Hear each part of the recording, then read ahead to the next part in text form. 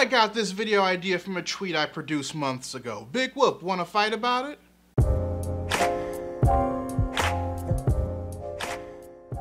Readers, the practice of continuing a movie or a television show in the form of a comic book series has been a thing since that one good thing that Joss Whedon decided to do with his life. And shows and movies based on characters from DC Comics were no exception to this treatment. Proof of this is with Batman 66, which continued the campy mid-60s adventures of the live-action Batman series starring the late Adam West. And who could forget the comic book continuation of Clark's Creek? But in February of 2021, news broke about two more DC cinematic experiences getting a comic book extension Richard Donner's Superman and Tim Burton's Batman. Respectively called Superman 78 and Batman 89, the digital first books will be exploring stories told after Superman the movie and both Batman and Batman Returns in which the latter will be written by Sam Hamm, the screenwriter of the Gothic classics himself. And with Hamm returning, that means a lot of us Burton Batman fans are finally going to get a chance to see story elements we always wanted to see before the late Joel Schumacher and writers Lee and Janet Scott Batchelor replaced Burton and Hamm for Batman Forever.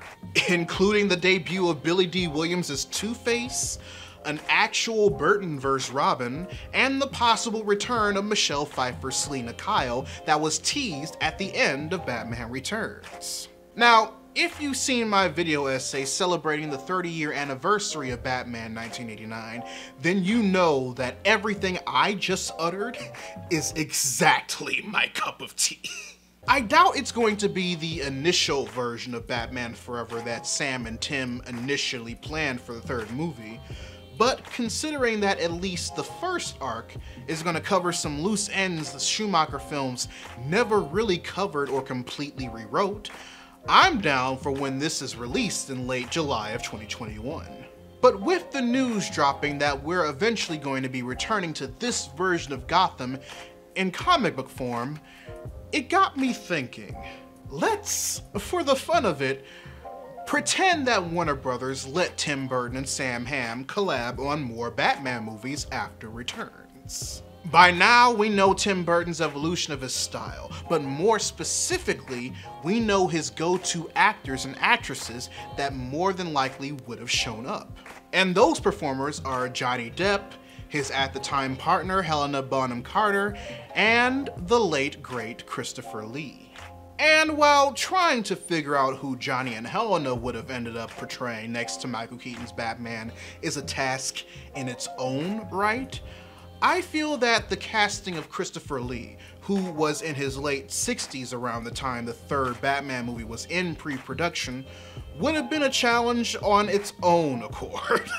especially since as one of the grandfathers of horror and one of Tim Burton's cinematic idols alongside Vincent Price, who died after Edward Scissorhands, it would be safe to assume that he would more than likely play a villain.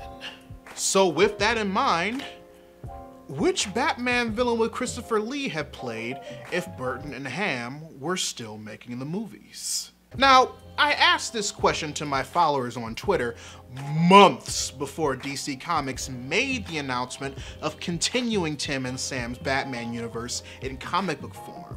And the two most popular answers made so much sense, like you, you, you, you wouldn't even know. So, let's start with this one.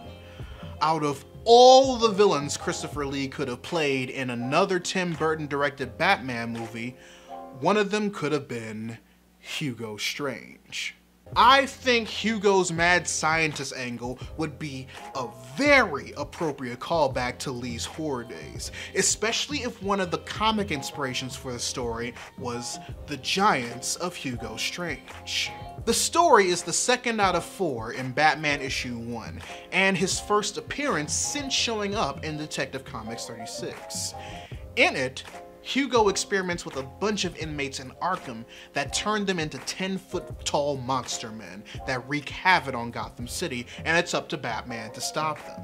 That story got hugely expanded upon and fleshed out by Matt Wagner back in 2006, who wrote the six part Batman and the Monster Men as the first arc of two in his Dark Moon Rising duology in 2006, the second one being Batman and the Mad Monk which retold a couple of Batman's first real bouts with metahumans and supernatural villains in his career set during Frank Miller's Year One continuity.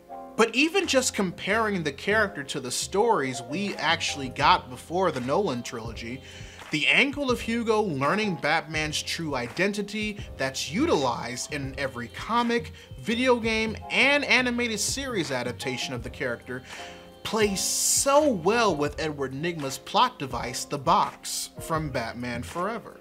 It almost makes me wish that the Dark Moon Rising series existed during that time, because both Batman and the Monster Men and the second story, Batman and the Mad Monk, could honestly be combined into a pretty amazing story that I could definitely see Burton and Hamm having fun adapting for on screen. Keeping Lee's version of Hugo Strange, the main villain, would have been easy for Hamm to handle, instead of forcing him to share the screen with the monk, considering Hugo's creation of the Monster Man and Monk's motive to create an army of werewolf women are pretty similar to each other.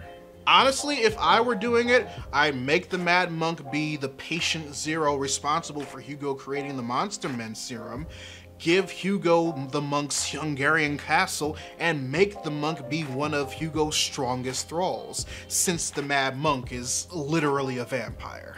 It would have even given Tim Burton a lot to work with in regards to gothic tones and settings. Definitely similar to how macabre certain set pieces and designs were in the Sleepy Hollow movie he made in 1999. Like, imagine the castle in question being a hybrid style of the Headless Horseman tree and the Inventor's house from Edward Scissorhands. That would have been right up Burton's alley. Speaking of which, I could definitely picture Lee taking inspiration for his Hugo Strange from Colin Clive's portrayal of Henry Frankenstein from the Universal Pictures production of the story in 1931. The more the more I think about this, the more I wish this actually happened. And this isn't even my dream casting for a Burton Batman movie with Christopher Lee. Because the villain I would have loved to have seen him play in a Burton directed Hamm written Batman movie is Ra's al Ghul.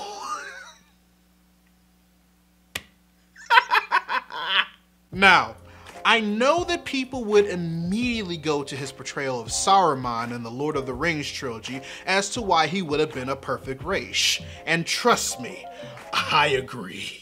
But there are two more roles during his younger years that I would immediately add to his portfolio. Francisco Scaramanga from the Bond film The Man with the Golden Gun, and of course, his portrayal of Dracula in the Hammer horror film series. Lee's Dracula had the gravity, poise, and presence that I usually associate with Ra's ever since I was initially introduced to him, and Lee's Scaramanga has the confidence, attitude, and arrogance. Add that to his more recent villainous roles before his passing, like the previously mentioned Saruman, and even Count Dooku from the Star Wars prequels. Surely you can do better. And Christopher Lee would have been the perfect live action equivalent to David Warner's portrayal of him in Batman the Animated Series. Now, I know some people are going to wonder about this, so let me just address this now. Yes, I completely understand that one of the things people couldn't stand about Nolan's version of the character in Batman Begins was that he was depicted as a white man instead of being Arabic. I also know that what I previously stated both reinforces the unpopular opinion of white people playing roles initially made for people of color, and somewhat goes against my belief of being fine with racial fluidity in certain roles if their ethnicity and background aren't key aspects in their character.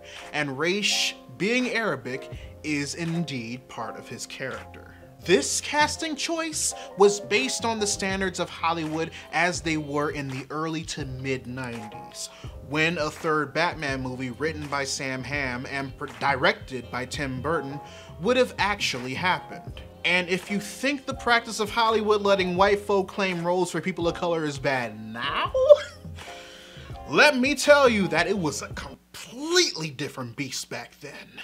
Like, the best that we could hope for back then was that whichever white actor got said role, they had the pedigree to make that bitch outstanding. And if Burton and Hamm were able to make another Batman flick with Ra's as a villain, casting Christopher Lee would have definitely been the best case scenario. But that's not to say that he couldn't have played other Batman villains and knock those performances out of the water. Another one that was suggested and that I can definitely see is Victor Fries. Like, can't you imagine? As a matter of fact, that's your homework assignment for the day, readers. Write in the comments section below which villain you think Christopher Lee would have played if Tim Burton and Sam Hamm were given the opportunity to make another Batman film before his passing. Or if you feel like sharing with the rest of the class, a Batman role you can see another one of Burton's go-to actors playing if given the same opportunity. Whichever one you decide to answer, I'd love to know your thoughts. If you want to help financially support the channel, you can join my Patreon by clicking the card at the end of the video or in the link in the description down below, where you can also find a link to my merchandise store. Or if you prefer to give a one-time donation, you can find links to my PayPal and my Ko-fi account in the description box as well. Also, make sure you subscribe to the channel and turn on notifications, because I post new videos every Monday, Wednesday, and every other Friday. But until then, this is Readus 101. Class dismissed.